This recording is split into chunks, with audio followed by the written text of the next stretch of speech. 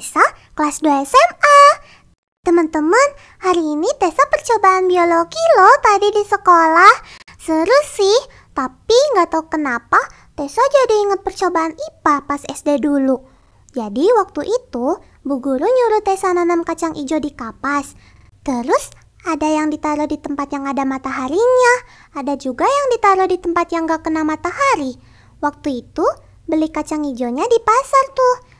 Nah, yang tiba-tiba bikin Tessa penasaran, kacang hijau tuh panennya gimana ya? Kayak kacang tanah atau kayak kacang polong? Kulit kacang hijau tuh gimana? Buah kacang hijau tuh kayak gimana ya? Teman-teman ada yang tahu nggak? Kalau ada yang tahu, kasih tahu Tessa ya. Oh iya, jangan lupa subscribe dan bantu Tessa untuk wujudkan mimpi kita bersama.